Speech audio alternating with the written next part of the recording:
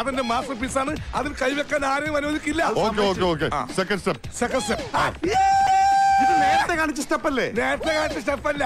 മുദ്ര ശ്രദ്ധിക്കണം മുദ്ര. നേരത്തെ കാണിച്ചത് ഏക മുദ്ര.